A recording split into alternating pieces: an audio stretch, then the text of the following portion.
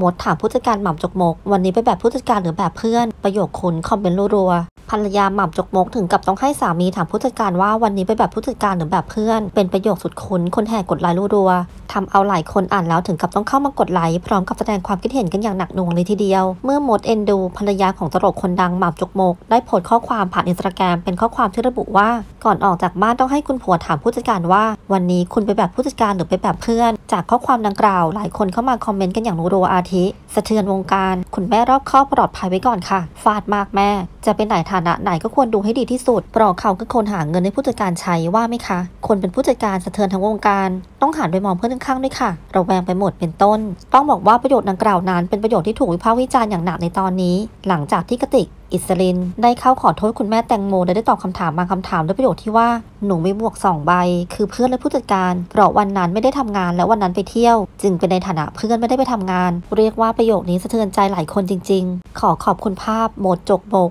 าม่ำจกโมกภาพแหล่งข้อมูลข่าว สนุก .com ค่ะ ฝากกดไลค์ กดแชร์ กด subscribe กดกระดิ่งกันด้วยนะคะ